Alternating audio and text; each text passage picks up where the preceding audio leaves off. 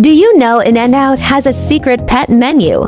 The primary item on the menu for dogs is called a pup patty. It's a plain burger patty with no salt. Now your pet can be completely obsessed too.